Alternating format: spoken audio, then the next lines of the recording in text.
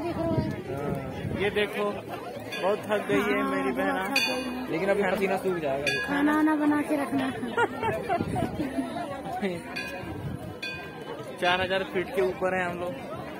है ना? पापा को बुलाना चाहिए। ये सीन देखते हैं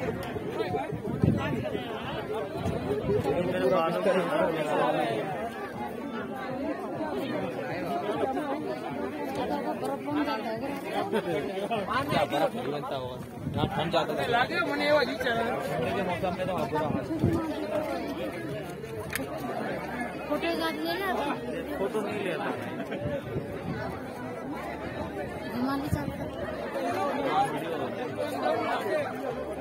एक बार चालू कर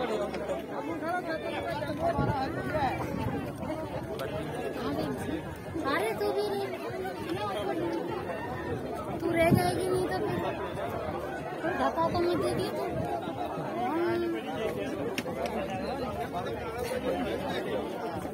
ये देखो ये सब जो अरे बारिश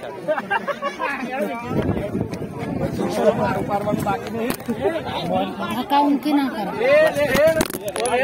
बच गए आप। पैर से उठा लिया।